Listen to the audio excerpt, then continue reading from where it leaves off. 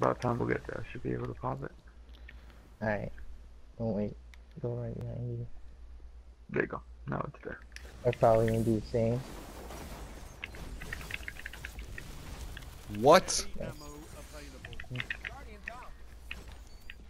Ah, he was a slither of health. Are you kidding me? Bro, Yo. how did he not get me?